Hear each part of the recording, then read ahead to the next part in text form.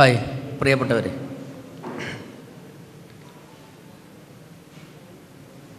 ഇന്ന് കൽപ്പറ്റയിലെത്തി നിങ്ങളോട് സംസാരിക്കാനുള്ള വേദി അനുവദിച്ചു തന്ന എസൻസ് ഗ്ലോബൽ വയനാടിനോടും ഇഗ്നൈറ്റ് നയന്റീന്റെ സംഘാടകരോടും ഞാൻ ആദ്യമേ നന്ദി പറയുന്നു. വലിയൊരു പ്രസംഗത്തിന് ഉതകുന്ന രീതിയിലുള്ള ക്ലിപ്പുകളോ മറ്റോ ഞാൻ തയ്യാറാക്കിയിട്ടില്ല. എന്നാലും ബോധ്യപ്പെട്ട ചില കാര്യങ്ങൾ മാത്രം സംസാരിക്കാൻ ആഗ്രഹിക്കുകയാണ്. കൽപ്പറ്റയെ സംബന്ധിച്ചിടത്തോളം ഈ കാണുന്ന ആളെ ഈ ദിവസത്തിൽ അവധി ദിവസത്തിൽ കണ്ടെത്തുക എന്നൊക്കെ പറഞ്ഞാൽ അത് വലിയ മാറ്റം തന്നെയാണ്. വലിയ മാറ്റത്തിന് ചിന്തിക്കുന്നവർക്ക് നല്ല ആശയങ്ങൾ ഉൾക്കൊള്ളുന്നവർക്കൊക്കെ വലിയ പ്രചോദന പ്രചോദനമായിട്ടുള്ള ഒരു വേദിയായിട്ടാണ് എനിക്ക് തോന്നുന്നത്. നിങ്ങൾ ഇപ്പോൾ ഇത്ര പേരാണെങ്കിലും ഇത്ര പേരിവിടെ ഒത്തു കാണുന്നത്. എസൻസിന്റെ മറ്റു ജില്ലകളിലുള്ള പരിപാടികളൊക്കെ തന്നെ ഹാളുകൾ നിറഞ്ഞു കവിഞ്ഞ ഒരവസ്ഥയാണുള്ളത്. എസൻസ് നടത്തിയ ലിറ്റ്മസ് എന്ന പ്രോഗ്രാം ആൾ കൊള്ളാതെ വരുന്ന സാഹചര്യത്തിൽ മറ്റൊരു വലിയ സൗകര്യം തേടിപ്പോയി പോയി. ഏതാണ്ട് മൂവായിരത്തി അറുന്നൂറ് പേരെ കൊള്ളിക്കേണ്ട നിറഞ്ഞു കൊള്ളിക്കേണ്ട അവസ്ഥ ഉണ്ടായിട്ടുണ്ട്. നമ്മളിത് പറയുമ്പോൾ കുറേ പിറകോട്ട് പോകണം അല്പം വേറിട്ട് ചിന്തിക്കുക അല്ലെങ്കിൽ പുരോഗമനപരമായ രീതിയിലേക്ക് ചിന്തിക്കുക സത്യങ്ങൾ തേടുക എന്നൊക്കെ പറഞ്ഞ കാലഘട്ടത്തിൽ കുറേ യുക്തിവാദികളും നിരീശ്വരവാദികളൊക്കെ ഉണ്ടായിരുന്നു. അന്ന് അവരെ പേരങ്ങനെയായിരുന്നു പത്ത് പേരെ പോലും ഒത്തുകിട്ടാത്ത സാഹചര്യത്തിലായിരുന്നു അവരുണ്ടായിരുന്നത്. ഇന്ന് നമ്മൾ യുക്തിവാദികളല്ല നിരീശ്വരവാദികളല്ല സത്യാന്വേഷികളാണ്. അതാണ് അതിന്റെ നാമം. ഇന്ന് പറയാൻ ധൈര്യമുണ്ട് ചിന്തിക്കാൻ നമുക്ക് ധൈര്യമുണ്ട്. നാം കൊടുക്കുന്ന മെസ്സേജും ചിന്തിക്കാൻ ധൈര്യപ്പെടുക എന്നാണ്. നിങ്ങൾ ഇത്രയും പേര് നോക്കുന്നത് ഈ കാണുന്നതിലേക്കല്ല. വലിയ ഒരു ലോക സാധ്യതയിലേക്കാണ് നിങ്ങൾ നോക്കുന്നത്. നിങ്ങൾ ഇപ്പോഴും ഇക്കണ്ട കണ്ട ആളോ ഇതിനപ്പുറമോ ഇത്തരത്തിൽ അഞ്ചോ പത്തോ ഹാളിൽ ആൾ വന്നിരുന്നാലും ചെറിയൊരു വിടവിലൂടെ മാത്രമാണ് നിങ്ങൾ നോക്കി കാണുന്നത്. ഞാൻ പറഞ്ഞു വരുന്നത് ഈ പ്രസ്ഥാനം ഈ സംഭവം ഈ ചിന്ത കേരള ജനതയെ വലിയ തോതിൽ തന്നെ മാറ്റിമറിക്കാൻ പോവുകയാണ്. ആദ്യമാദ്യ സംശയം തോന്നും അങ്ങനെയൊക്കെ ഉണ്ടോ? വരാൻ പോകുന്നുണ്ടോ എന്ന്. ഇത് എസൻസ് ഗ്ലോബലാണ്. ഇതുപോലെ ഇതുപോലെ സമാന ചിന്താഗതിയിലുള്ള ഒട്ടനവധി പ്രസ്ഥാനങ്ങളുണ്ട്. അത് ചിലത് കെട്ടൊഴിഞ്ഞു പോയതുകൊണ്ട് എന്നാൽ പുതിയ തലമുറ വല്ലാതെ വളർന്നിരിക്കുന്നു വല്ലാതെ ചിന്തിക്കുന്നു അവർ ഉയർന്ന് ചിന്തിക്കുന്നു. ഞാനിത് പറയുന്നത് വ്യക്തമായ തെളിവോടുകൂടി. ഓരോ ജില്ലയിലും കോഴിക്കോട് പതിനഞ്ച് പതിനഞ്ച് മുതൽ പതിനേഴായിരം വരെ വരുന്ന യുവാക്കളടക്കമുള്ള വലിയൊരു വിങ്ങായി മാറിയിരിക്കുകയാണ്. ഓരോ ജില്ലയിലും വയനാട് ഒഴികെ വയനാടിന്റെ അറിവിൽ കിട്ടുന്നത് ഏഴായിരത്തി സംതിങ് ആണ്. ഒരു ഇത്രമാത്രം ജനങ്ങൾ ചിന്തിക്കാൻ വേണ്ടി സജ്ജരായ രണ്ട് ലക്ഷത്തോളം വരുന്ന ജനങ്ങളുടെ മഹാസംഗമമായി മാറിയിരിക്കുകയാണ്. ഇതാണ് ഇപ്പോഴത്തെ അവസ്ഥ. വാട്സപ്പ് ഗ്രൂപ്പുകൾ രഹസ്യവും പരസ്യവുമായത് നാട് മുഴുക്കെ നടന്നുകൊണ്ടിരിക്കുന്നു. യുവാക്കൾക്ക് തുറന്നു പറയാൻ ആഗ്രഹിക്കുന്നവർ സ്വതന്ത്ര ചിന്തയിലേക്കും ഫ്രീ തിങ്കേഴ്സിലേക്കും ഒട്ടനവധി സോഷ്യൽ മീഡിയ ഫേസ്ബുക്ക് ഗ്രൂപ്പുകളിലേക്കും ചേക്കേറുന്നു. അതിലുള്ളവർ മുഴുവനും ഒന്നും രണ്ടും മൂന്നും ലക്ഷം മെമ്പർമാരുണ്ടാവും. അവരുള്ളവർ മുഴുവനും തന്നെ പരിപൂർണമായി സമാന ചിന്താഗതിക്കാരായില്ല. പക്ഷേ ശക്തമായ എഴുത്തും ശക്തമായ പ്രതിഷേധം വരുന്ന അമ്പതിനായിരത്തിനെടുത്താൽ മതി. ഇതാണ് അവസ്ഥ. ഈ രീതിയിൽ കാൽക്കുലേറ്റ് ചെയ്യുമ്പോൾ തന്നെ ഈ അടുത്ത കാലത്ത് ഞാൻ മനസ്സിലാക്കിയത് ഒരു ഞാഹു എന്നൊരു വാട്സപ്പ് ഗ്രൂപ്പ് ഒരാൾ ചെയ്തു തുടങ്ങി. ആ ഗ്രൂപ്പിൽ അദ്ദേഹത്തിന്റെ നയങ്ങളെ എഴുതി തുടങ്ങിയപ്പോൾ അത് യുവാക്കൾക്ക് ആകർഷമാകുകയും അതിന്ന് ഏതാണ്ട് ഒരു വർഷത്തിനകം പന്തലിച്ച് നാൽപ്പത് ഗ്രൂപ്പുകളും അഞ്ച് ടെലഗ്രാം ഗ്രൂപ്പുകളുമായി മാറി നിറഞ്ഞിരിക്കുന്നു. എല്ലാം ഫുള്ളാണ് തുടങ്ങുന്നത് തുടങ്ങുന്നത് തുടങ്ങുന്നത് ഫുള്ളാണ് അതിലേക്ക് ആൾ ഒഴുകി കയറുക. അപ്പം ഈ രീതിയിലേക്ക് നാം ചിന്തിക്കാൻ യുവാക്കൾ തയ്യാറാവുന്നത് ബഹുമാന്യായ ആർ സി രവീന്ദ്ര സാർ അടക്കമുള്ളവരുടെ ശക്തമായ ഇടപെടലും ചിന്തയും നല്ല സംസാരവും തന്നെയാണ് അവരെ ആ വഴിയിലേക്ക് കൊണ്ടുവരുന്നത്. ആരും മോശക്കാരല്ല. ഒട്ടനവധി ഇപ്പോൾ സോഷ്യൽ മീഡിയയിൽ കണ്ടുവരുന്ന സംസാരങ്ങളേറെയും ഈ രീതിയിൽ ചിന്തിക്കുന്നവനെ ചിന്തിക്കാൻ ഇടം കൊടുക്കുന്ന രീതിയിലേക്ക് സാഹചര്യം എത്തിച്ചിട്ടുള്ളത് ഈ രണ്ട് വർഷമായി ഇന്റർനെറ്റ് എന്ന സൗകര്യം ഇത്രമേൽ ഈസി ആയത് വന്നത് തന്നെ തന്നെ ഫ്രീ ആയി വന്നത് തന്നെ ഒരു മുഖ്യ കാര്യമായി കാണുന്നു. മുമ്പൊക്കെ ഒരു ഉസ്താദിന്റെയോ ഒരു സ്വാമിയുടെയോ പ്രഭാഷണം കേൾക്കണമെങ്കിൽ നൂറ് നൂറ്റമ്പത് രൂപന്റെ നെറ്റ് ചിലവായിരുന്നു ഇന്റർനെറ്റ് ഇന്നതിന് നിസാര പണത്തിന് അതത്രയും കണ്ടു തീർക്കാം. അപ്പോൾ നമ്മൾക്ക് കൂടുതൽ കയറി ചെല്ലാനും സംസാരിക്കാനും സംവേദിക്കാനുമുള്ള സാഹചര്യമായി മാറുന്നു. ഇതാണ് ഈ സംഭവിച്ചുകൊണ്ടിരിക്കുന്നത്. പഠിക്കാനുള്ള സാഹചര്യം ഒരുക്കി കൊടുക്കുമ്പോൾ അവർ പഠിക്കുന്നു അവർ ചിന്തിക്കുന്നു. ഈ രീതിയിലാണ് ഈ മാറ്റം വന്നുകൊണ്ടിരിക്കുന്നത്. അവരെ കൂടുതൽ ചിന്തിപ്പിക്കാൻ പ്രസംഗങ്ങൾക്കപ്പുറം പഠനങ്ങൾക്കപ്പുറം കഥകൾക്കപ്പുറം നാട്ടിലെ സാഹചര്യവും കേരളത്തിലെ സാഹചര്യവും അങ്ങനെയായിത്തീരുന്നു. ഉദാഹരണത്തിന് നിപ്പ. നിപ്പ വന്നപ്പോൾ ഡോക്ടർമാർ അവ അവരുടെ അഭിപ്രായം പറയുന്നു സാമൂഹ്യ സംഘടനകൾ അവരുടേതായ പറയുന്നു വ്യാപാരികളുടെ അവരുടെ അഭിപ്രായം പറയുന്നു മതവാദികൾ അവരുടേതായ അഭിപ്രായം പറയുന്നു. സത്യമെന്തെന്ന് കണ്ടുപിടിക്കാൻ വളരെ ഈസിയായി മാറുന്നു. ഇത്രയേ ഉള്ളൂ.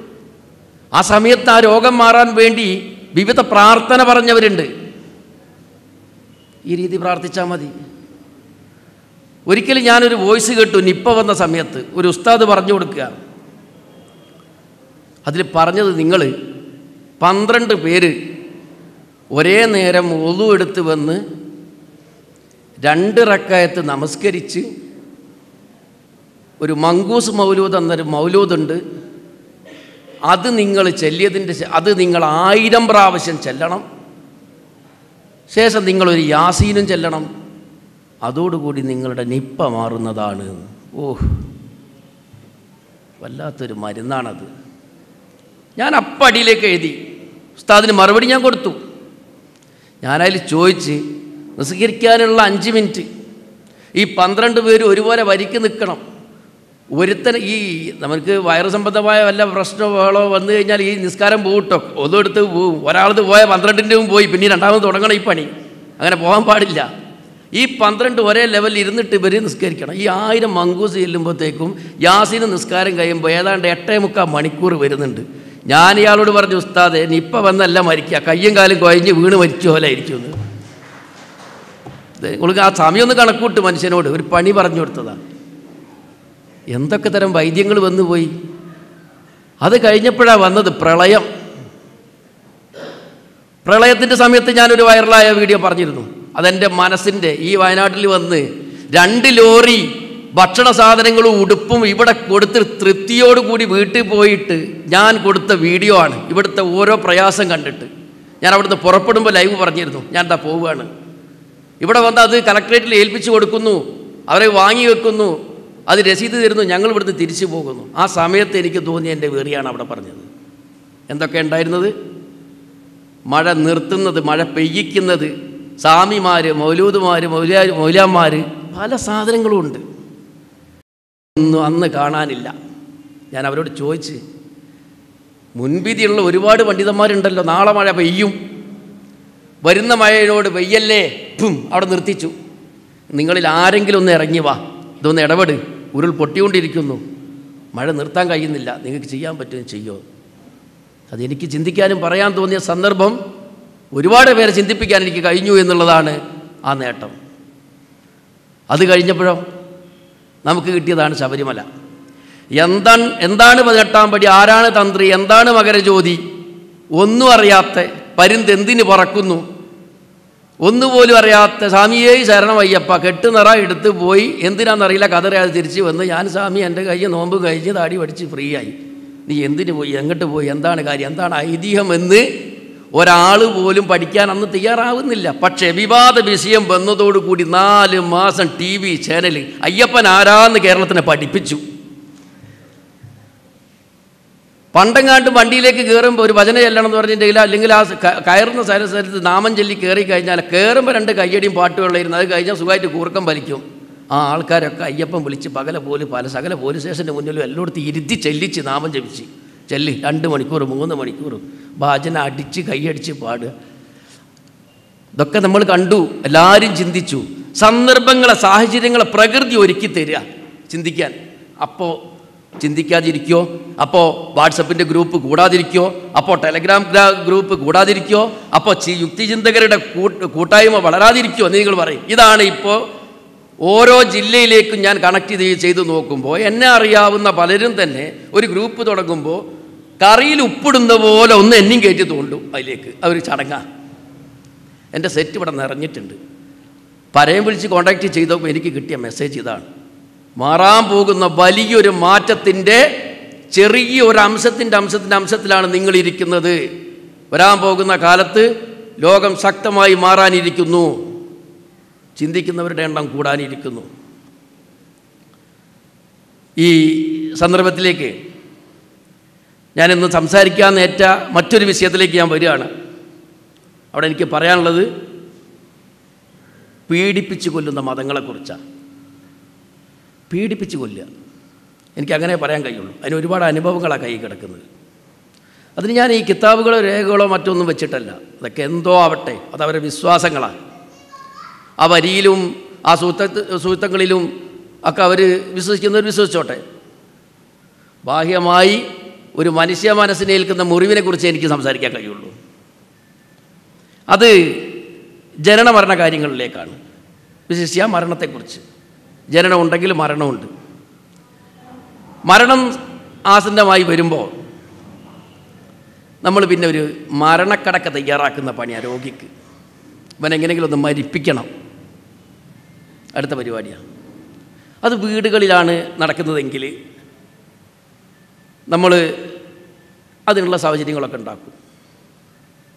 ഒരു കാര്യം ഓർക്കുക മതങ്ങളിലേക്ക് മനുഷ്യൻ ചേക്കേറുന്നതിന്റെ മുഖ്യമായ കാരണം തന്നെ മരണത്തിനോടുള്ള ഭയമോ ജീവൻ രണ്ടാമത് കിട്ടാനുള്ള ആഗ്രഹമോ കൊണ്ടാണ്. ഇവിടുന്ന് എന്തായാലും കിട്ടില്ല എന്നെ അപ്പുറത്ത് കിട്ടണം. അടിസ്ഥാനം അങ്ങനെയായിട്ട് മരിച്ചു പിരിയാൻ കഴിയുന്നില്ല. ഇനിയും ജീവിക്കണം എനിക്ക്. എന്റെ ജീവിക്കാനുള്ള കൊതിയാണ് സത്യത്തിൽ എന്നെ മതങ്ങളിലേക്ക് കൈപിടിച്ചു കൊണ്ടുപോകുന്നത്. അത് പട്ടിയും പൂച്ചയായിട്ടും രാജാവായിട്ടൊക്കെ ജീവിക്കുന്ന മതങ്ങളുണ്ട്. മാലാകന്മാർ സ്വർഗം വെച്ചേരുന്ന സ്ഥലങ്ങളുണ്ട് ഊറിമാരിറങ്ങുന്ന സ്ഥലങ്ങളുണ്ട്. ഇതൊക്കെ വിവിധ മതങ്ങൾ വിവിധ രീതിയിൽ രണ്ടാം ജന്മം ഇനിയും നിന്നെ ഞാൻ ജീവൻ തരാം എന്ന് പറയുമ്പോൾ കൊതിയോട് കൂടി കയറി ചെല്ലുന്ന ആ ഒരു സാധനം മനസ്സിലേക്ക് വളരുന്നത് മതങ്ങളിലുള്ള ഓഫറുകളാണ്. പല മതങ്ങളും പല രീതിയിൽ ഓഫർ ചെയ്തിട്ടുണ്ട്. ഉഗ്ര ഓഫർ കൂടിയെടുത്തേക്ക് നല്ല ഉന്തുന്നുള്ള കസ്റ്റമറെ. ഓഫർ കുറഞ്ഞെടുത്ത ആളുമില്ല. ഓഫർ കുറഞ്ഞെടുത്ത് രണ്ടാം ജന്മത്തിൽ വട്ടിയൊക്കെ ആയിട്ടാണ് വരുന്നത്. ഇല്ല. ഈ രീതിയിലൊക്കെയുള്ളൊരു അവസ്ഥ കണ്ടുകൊണ്ടിരിക്കുമ്പോൾ ആ മരണം കിട്ടുക രണ്ടാമത്തെ ജനനം കിട്ടുക എന്നാണ് സത്യത്തിൽ മരിപ്പിച്ച് വിടുമ്പോൾ മതങ്ങൾ നമ്മളോട് പറയുന്നത്. നിന്നെ മരിപ്പിക്കുകയല്ല ചെയ്യുന്നത്. രണ്ടാം ലോകം നിനക്ക് വാഗ്ദാനം ചെയ്യുകയാണ്. ഇതാണ് പ്രാർത്ഥനയിലുള്ളതെല്ലാം ഇറക്കി വിടുമ്പോൾ. ആ പ്രാ എല്ലാ ഒരുവിധപ്പെട്ട ആൾക്കാരുടെ പ്രാർത്ഥനയിലൊക്കെ അടുത്ത ലോകത്തെ സ്വർഗീയ ഗുണങ്ങൾ നിനക്ക് ഞാൻ വാഗ്ദാനം ചെയ്യുന്നത് ഇപ്പം നീ പോ. ഇതാണ് വിട്ടയക്കുന്ന കാര്യം.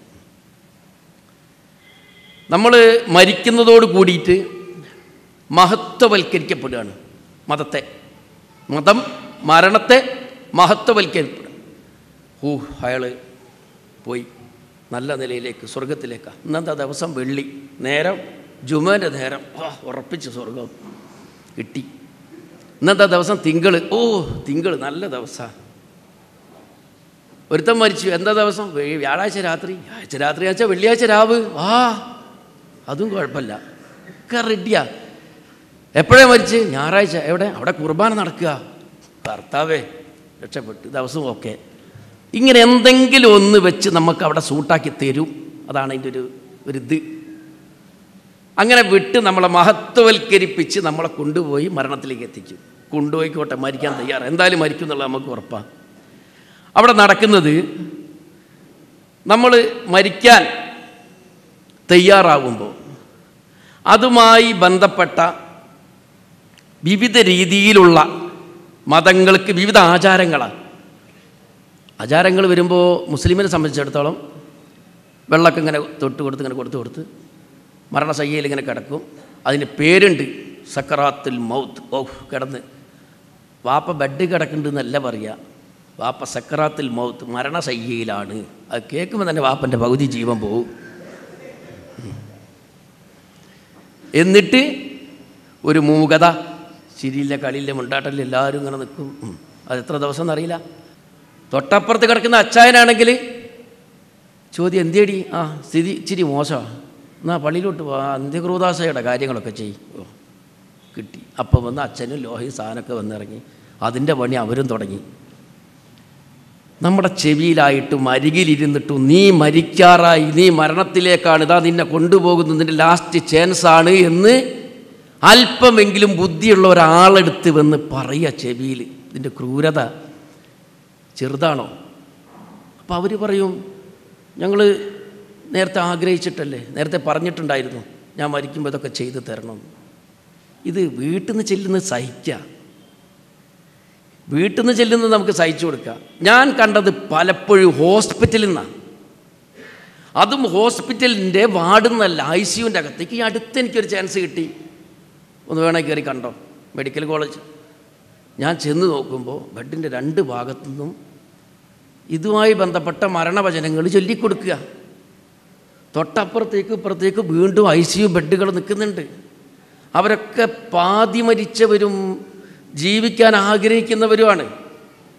ആ ബെഡിൽ ഇരുന്നുകൊണ്ടാണ് ഒന്ന് സ്വരം താത്താൻ പോലുള്ള മാന്യത കാണിക്കാത്ത അവനവന്റെ കയ്യിലുള്ള മതം വെച്ചിട്ട് ഇയാളെ സ്വർഗത്തിലേക്ക് തള്ളിവിടാൻ വേണ്ടി ഇത് ചെല്ലുമ്പോൾ അപ്പുറത്തുള്ളവന്റെ നെഞ്ചി ഇടിക്കുന്നുണ്ട്. ഇതൊന്നും മനസ്സിലാക്കാൻ കഴിയണ്ടേ? ഇവിടെ ഇരുന്ന് സിഗരറ്റ് വലിക്കുമ്പോൾ അപ്പുറത്തവന്റെ മൂക്കിലേക്ക് പോവാതിരിക്കാൻ വേണ്ടിയിട്ട് സിഗരറ്റ് ആയി അപ്പുറത്തേക്ക് പോകുന്ന ഒരു സിഗരറ്റ് വലിക്കാരന്റെ ഒരു ചെറിയ സ്നേഹമെങ്കിലും അവർക്ക് കാണിക്കാൻ തോന്നണ്ടേ? വിടൂല മതം. എന്നിട്ട് പറഞ്ഞു കൊടുക്കുക. ഇതങ്ങോട്ട് ഉറക്ക ചെല്ലുക. അപ്പം മറ്റവന്റെ ഇടി അങ്ങനെ കൂടുക. ഇവന്റെതായി ഇനിന്റെതാ. അല്ലേ ഞാൻ ചോദിക്കട്ടെ കൂട്ടരെ നമ്മളിൽ ഒരാൾ ഈ കസാരയിൽ നിന്ന് മറിഞ്ഞു വീണു. കാലവിടെ നിന്ന് അടിച്ചു. ഇത്തിരി ചോര പൊട്ടി. അതൊരു കുട്ടിയാന്ന് കരുതുക. ഒന്ന് ഹോസ്പിറ്റലിലേക്ക് വിട്ടേക്ക്. ഗവൺമെന്റ് ഹോസ്പിറ്റലിലേക്ക് കൊണ്ടുപോകുന്നു. കുട്ടി കരയുമ്പം പറയൂ വേണ്ടടാ പാവല്ല വിഷയാക്കണ്ട നിസാരമാണ്. ചെറിയ മുറിയല്ലേ? ഇപ്പോൾ തീരും. നമ്മളിങ്ങനെ പറഞ്ഞ് പറഞ്ഞ് പറഞ്ഞ് സമാധാനിപ്പിക്കും. അത് വേദന സഹിക്കുന്ന ഒരു ഹൃദയത്തെ സമാധാനിപ്പിക്കുന്ന മനുഷ്യന്റെ നല്ല ബുദ്ധിയിലുള്ള നല്ല വാക്കാണ്.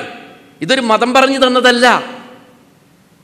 ജനിതകപരമായി സഹജമായ രീതിയിൽ നമ്മൾ ഉപയോഗിച്ച ആ സ്നേഹം എവിടെയാണോ ഉപയോഗിക്കുന്നത് അത് ഉപയോഗിക്കുകയാണ് നമ്മൾ ഏ വിശാക്കണ്ട പാവം. എന്ന് തോന്നണ്ട പാപ്പു ഇങ്ങനെ കൊണ്ടുപോവുക. ആ ബുദ്ധിയെങ്കിലും കാണിക്കണ്ട ഇവിടെ. മരിക്കാൻ കിടക്കുകയാണ്. തൊണ്ടേന്ന് വെള്ളം ഇറങ്ങില്ലെങ്കിലും ഒന്ന് ഉഴിഞ്ഞു കൊടുക്കുക. ഇത്തിരി വെള്ളമൊക്കെ കൊടുക്കുക. എന്നിട്ട് പറയാണ് ചത്താലും നിനക്ക് സ്വർഗാടാ നീ ചത്തോ? അവിടെ മറ്റതുണ്ട്. വലിയ സാധനമൊക്കെ എടുത്തു വെച്ചിട്ടുണ്ട് നീ ചത്തോ? കുഴപ്പമില്ല. എന്നിട്ട് അതിന്റെ വചനങ്ങളും. ഇത് വിഷയം പറയുമ്പോൾ നമുക്ക് ഹരം തോന്നുമെങ്കിലും ഞാൻ എന്റെ ഒരു അവസ്ഥ ഒരു അനുഭവം പറഞ്ഞുതരാം. ഈ അടുത്ത് എപ്പോഴും ആ പേഷ്യന്റ് പോയില്ല. കോഴിക്കോട് മെഡിക്കൽ കോളേജിൽ പന്ത്രണ്ടാം വാർഡിലുണ്ട്. ഞാൻ അയാളെ കാണാൻ വേണ്ടി എന്റെ ഈ പറഞ്ഞ രോഗിയെ കാണാൻ വേണ്ടി ഒരു ഒന്ന് ഒന്നൊന്നര മാസം മുന്നേ പോയി.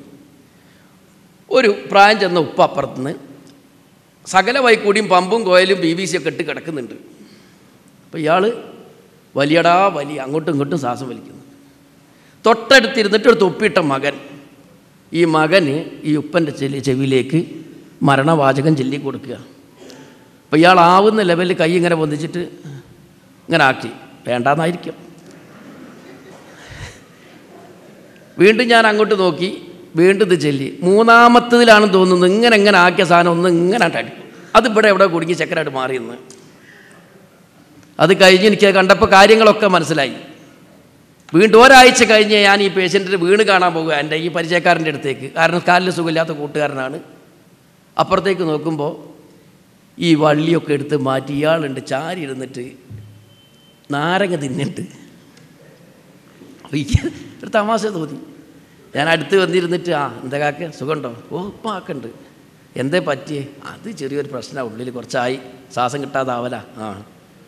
അന്ന് നിങ്ങൾ ഇവിടെ ഇങ്ങനെ കിടക്കുന്ന നേരത്തെ മകനിങ്ങനെ ചെല്ലിനെ കണ്ട് എനിക്ക് വല്ലാതെ മനസ്സിന് തട്ടിപ്പോയി. ഇങ്ങനെ സംഭവം ഉണ്ട്? പറഞ്ഞു. ആ അത് നീ കണ്ടോന്ന് ചോദിച്ചു. ആ കണ്ടു. ഒന്നുമില്ല കുട്ടികളല്ലേ? അല്ലേ? സംഭവം മനസ്സിലായി. ഇപ്പം കുട്ടികളില്ലല്ലോ. എന്താ നിങ്ങളത്? തട്ടാൻ കാരണം? അതാ നേരത്ത് വലിയ വെറിയാണ് കേൾക്കുമ്പോൾ ഞാൻ ചോദിച്ച് എങ്ങനെ? എന്താ സംഭവം? അയാൾ തുറന്ന് പറഞ്ഞ് എനിക്ക് എന്റെ ഓർമ്മക്കൊന്നും ഒരു കേട് പറ്റിയിട്ടില്ല. എന്റെ സാഹസത്തിനേ പ്രശ്നമുള്ളൂ. എന്താ അവിടെ നടക്കുന്നത് എന്താ ചെയ്യുന്നതെന്നൊക്കെ ഞാൻ അറിയുന്നുണ്ട്. പക്ഷെ എന്റെ മകൻ എന്റെ ചെവിയിൽ ഇത് ചെല്ലിയപ്പോൾ എന്റെ കരൾ പൊട്ടുന്നുണ്ടായിരുന്നു. ഇത് മരിക്കുന്ന നേരത്തെ ചെല്ലി കൊടുക്കുന്നതല്ലേ? എന്ന് ഞാൻ സങ്കടപ്പെടുന്നുണ്ടായിരുന്നു എന്ന് ആ ആ പിതാവ് എന്നോട് പറയുക. നോക്കണം അയാളെ മനസ്സിലുണ്ട്. ഇപ്പോൾ ഇത് തന്നെയല്ലേ ഏറെക്കുറെ ക്യാൻസർ രോഗികളും കരളിന് കേട് പറ്റിയവരൊക്കെ വളരെ പെട്ടെന്ന് അവരുടെ ഓർമ്മ അവിടെ ബാക്കിയിരിക്കും? ഈ വക ആൾക്കാർക്ക് ശ്വാസത്തിലും അതുപോലെ തന്നെ അന്നത്തിലും ആഹാരത്തിലൊക്കെ പ്രയാസം ഉണ്ടാവും ബുദ്ധിക്ക് കേടൊന്നും വന്നില്ല. അവന്റെ ചെവിയിൽ നമ്മൾ ഓതി കൊടുക്കുന്നത് മരണവാചകമാണ്. പകരം അച്ഛാ കുഴപ്പമില്ല കേട്ടോ ഒന്നുമില്ല. ഞങ്ങൾക്ക് ഒന്നും സംഭവിക്കില്ല ഞാനല്ലേ പറയുന്നത്? ഞാനിവിടെ ഉണ്ട് അച്ഛാ. നിങ്ങൾ ധൈര്യമായിട്ടിരുന്നോളി എന്ന് പറയുമ്പോൾ അതിന്റെ ഒരു ആശ്വാസം വേറെയാണ്. ഇത് രണ്ട് സാധനങ്ങളാണ്. ഇതാണ് ഞാൻ പറയുന്നത്. പലപ്പോഴും മതങ്ങൾ പീഡിപ്പിച്ച് കൊല്ലുന്നുണ്ട് എന്ന കാര്യം. ആ രോഗി ഇതിലൊക്കെ വേദനിക്കാതിരിക്കാൻ വേണ്ടി പാടുപെടുന്ന ഒരു ആൾ തൊട്ടിപ്പുറത്തുണ്ട് അത് ഡോക്ടറായിരിക്കും. അവനെ പരമാവധി വേദനിപ്പിക്കാൻ വേണ്ടിയിട്ടാണ് ഈ ആൾക്കാർ ഇത് ചൊല്ലിക്കൊടുക്കുന്നത്. അവൻ ഒരു ക്യാൻസർ രോഗിയാണെങ്കിൽ ശക്തമായ പെയിൻ കില്ലർ കൊടുത്താണ് രോഗിയെ ഈ ഡോക്ടർ അവന്റെ വേദന ശമിപ്പിച്ചുകൊണ്ടിരിക്കുന്നത്. വല്ല കാര്യമുണ്ടോ ഈ രീതി ചെയ്താൽ? മനുഷ്യന്റെ ചിന്തയിലേക്ക് വന്ന മുറിവും വേദനയും എങ്ങനെയാണ് നമ്മൾ സഹിക്കുക? അതുകൊണ്ട് പ്രിയപ്പെട്ടവർ അത്തരത്തിലുള്ള രംഗം നമുക്കും ഉണ്ടാവും. നമ്മൾക്ക് ഈ ചെല്ലുന്ന കാര്യങ്ങളായിക്കോട്ടെ അതുപോലെ തന്നെ നമ്മൾക്ക് ആ അന്ത്യക്രൂദാസ പോലുള്ള ചടങ്ങുകളാവട്ടെ എന്ത് ചെയ്യുകയാണെങ്കിലും ആ അതിലൊരു കാര്യം അതിൽ പലരും പറയും നേരത്തെ അച്ഛൻ പറഞ്ഞിരുന്നു അമ്മ പറഞ്ഞിരുന്നു എനിക്ക് ചെയ്യേണ്ടത് ചെല്ലി ചെല്ലി തരണം. ചില ആൾക്കാർ വാപ്പ പറയാൻ പറഞ്ഞിട്ടുണ്ട് കലിമ ചൊല്ലി കൊടുക്കണമെന്ന് പറഞ്ഞിട്ടുണ്ട് എന്നൊക്കെ പറയും. പക്ഷെ അവനെ ചൊല്ലുന്ന രംഗം കണ്ടതുകൊണ്ടാണ് എനിക്കും വേണമെന്ന് പറയുന്നത്. ഈ അവസ്ഥ അവൻ അനുഭവിച്ചില്ല. അവസ്ഥയോടൊപ്പം ഇത് വരുമ്പോഴത് അനുഭവിക്കാൻ കഴിയുള്ളൂ. ആർക്കാ അത്ര പെട്ടെന്ന് ഈ ലോകത്തോട് നല്ല ബുദ്ധിയും വെച്ച് ഇറങ്ങി ഓടാൻ ധൈര്യപ്പെടുക? ആത്മഹത്യ ചെയ്യുന്നവനുണ്ടാവും. അത് പരിഭ്രാന്തിന്റെ ഒരു ഭാഗമാണ് മാനസിക നില തെറ്റിയ അവസ്ഥയിലാണ്. എല്ലാ ബോധമുള്ള ഒരാൾ ഞാൻ ചോദിക്കട്ടെ നമ്മളൊക്കെ വീട്ടിൽ നിന്ന് കുട്ടികളെ കെട്ടിച്ചയച്ച് പുറത്തേക്ക് ഇറക്കി വിടുമ്പോൾ മോളെ പോയിക്കോ ഇതാണ് വരൻ എന്ന് പറഞ്ഞ് വിടുമ്പോൾ അമ്മന്റെ കൈ ഒന്ന് വിട്ട് ചെറുക്കന്റെ കൈ പിടിച്ച് പുറത്തേക്ക് നോക്കുമ്പോൾ പുറത്തേക്ക് ഇറങ്ങിയിട്ട് ആ മകളൊന്ന് തിരിഞ്ഞ് അമ്മനെ നോക്കുമ്പോൾ ഒരു കണ്ണ് നിറയലുണ്ട്. പിരിയാണ് ഇത്തിരി നേരത്തേക്ക്.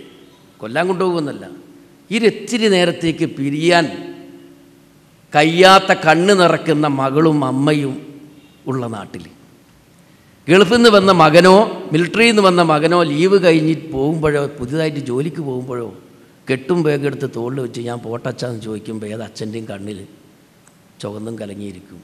എല്ലാവരും മരിക്കാൻ പോകുമല്ല കുറച്ച് നേരത്തേക്ക് ബന്ധത്തിൽ നിന്ന് മാറി നിൽക്കാൻ ആലോചിക്കുമ്പോൾ കണ്ണും കരളും നിറഞ്ഞു പോവുക. അത്തരത്തിലുള്ള ആൾക്കാർ മരിക്കാൻ വേണ്ടി കിടക്കുമ്പോൾ എന്താ നിങ്ങൾ പറയുന്നത്? അവനങ്ങനെ ഈസി ആയിട്ട് ഇറങ്ങി ഓടുന്ന എല്ലാ ബോധവും വെച്ചുകൊണ്ട്? അപ്പോൾ അവിടെ നീ ആ പോകുന്ന പയ്യനോട് അവന്റെ കാതിൽ പോയിട്ട് ഈ പറഞ്ഞ വാചകവും രണ്ട് ക്രൂദാസിയും ചൊല്ലിക്കൊടുത്താൽ എന്താണ് അവന്റെ അവസ്ഥ? നമ്മൾക്ക് കയ്യിൽ നമ്മൾക്ക് വേർപിരിയാൻ കഴിയുന്ന അവസ്ഥ വളരെ വിരളമായ വളരെ കുറഞ്ഞ വ്യക്തികൾക്കേ ഉള്ളൂ.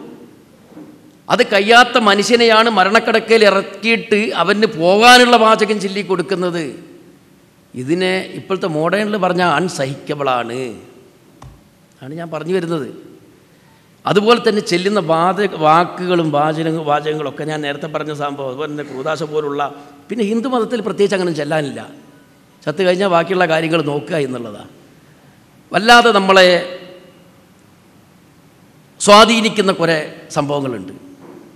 അത് ഈ പറഞ്ഞ നേരത്തെ പറഞ്ഞ മുസ്ലിമിന്റെ ഇടയിലുള്ളതൊക്കെ ചെല്ലുമ്പോൾ അതുമായി ബന്ധപ്പെട്ട ഒരുപാട് പ്രാർത്ഥനകൾ. ഇതൊക്കെ കേൾക്കുമ്പോൾ ചില പാട്ടുകൾ ഇതൊക്കെ മരണവുമായിട്ട് ബന്ധപ്പെട്ടതാണ് അതൊക്കെ കേൾക്കുമ്പോൾ നമ്മളിൽ ഉള്ളിൽ ഉള്ളിൽ ഉള്ളിൽ ഇങ്ങനെ അലയടിച്ച് ഈ സാധനം റിപ്പീറ്റ് ചെയ്ത് വരും. കാരണം ഈ കണ്ട മസ്തിഷ്കത്തിന്റെ അകത്ത് നമ്മൾ അവനെയും കൂടി കയറ്റി വെക്കാനുള്ള ഒരു ഇടം കൊടുത്തിട്ടുണ്ട്. മനുഷ്യനാകെ കൂടി ചെയ്ത ദ്രോഹം നല്ലൊരു തലച്ചോറിന്റെ അകത്തേക്ക് മതം കുത്തി കയറ്റിച്ച് എന്നുള്ളതാണ് അതല്ലാതെ വൃത്തിയാൽ പോകേണ്ട സാധനമായിരുന്നു. ഞാൻ ഇതിന്റെ ഇടയ്ക്ക് എന്റെ ഒരു കൂട്ടുകാരൻ ഒരു ഉദ്യോഗസ്ഥൻ അദ്ദേഹമായിട്ട് സംസാരിച്ചുകൊണ്ടിരിക്കുമ്പോൾ എനിക്കിഷ്ടപ്പെട്ട ഒരു പാട്ട് ഞാൻ കേട്ടിരുന്നു. അപ്പം അദ്ദേഹം നല്ലൊരു സത്യക്രിസ്ത്യാനിയാണ്. നല്ല വിവരം വിദ്യാഭ്യാസമുള്ള ആളുമാണ് അദ്ദേഹത്തിന്റെ അടുത്ത് വെച്ചിട്ട് ഞാനിങ്ങനെ പല പാട്ടും പരിശോധിച്ച് നോക്കുന്നതിൽ എനിക്ക് കിട്ടിയൊരു പാട്ട് ഞാൻ വെച്ചു. അപ്പം എന്നോട് പറഞ്ഞു നീ ആ പാട്ട് ഓഫാക്ക്. എന്തേന്ന് ചോദിച്ചു? അത് നീ ഓഫാക്കിയിട്ടില്ലെങ്കിൽ ഞാൻ നിന്റെ ഫോണിപ്പോൾ തല്ലി പൊളിക്കുന്നത് അത് എത്രമാത്രമാണ് അവരെ സ്വാധീനിച്ചതെന്നുള്ളത്?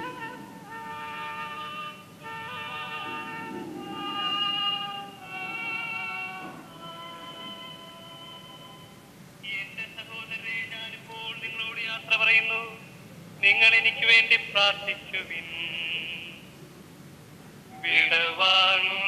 ഇതാണ് സംഭവം. അയാൾ എന്തോ നല്ല കാലത്തിന് ഇത് തച്ച് പൊളിച്ചില്ല. ഇത് എവിടെ ചെല്ലേണ്ടതാണ്? എപ്പം ചെല്ലേണ്ടതെന്ന് എനിക്കറിയില്ലായിരുന്നു. അയാൾ പറഞ്ഞു പൊന്നു മോനെ ഞാനിത് എന്റെ അപ്പച്ചൻ മരിച്ചെന്ന് കേട്ടതാണ്. ആകെ മൂടി നീ പോക്കി. നോക്കണം ഒരു സ്റ്റേജ് മാറുകയാണ് മനുഷ്യന്റെ. ഞാൻ നിങ്ങളോട് പറയുന്നു സ്വസ്ഥമായിട്ട് നമ്മളെന്ന ജനസമൂഹത്തിനോട് നമുക്ക് പറയാനുള്ളത് സ്വസ്ഥമായി ചാവാനെങ്കിലും അനുവദിക്കൂ എന്ന് മാത്രമേ എല്ലാ മതവാദികളോടും ഈ രീതിയിൽ പീഡിപ്പിക്കുന്നവരോട് എനിക്ക് പറയാനുള്ളൂ. ഇത്രയും നേരം അനുവദിച്ചു തന്ന എസ് എൻ സി ക്ലബിനും കേട്ടിരുന്ന നിങ്ങൾക്കും നന്ദി പറഞ്ഞുകൊണ്ട് എന്റെ വാക്കുകൾ ഞാൻ ഉപസരിക്കുന്നു.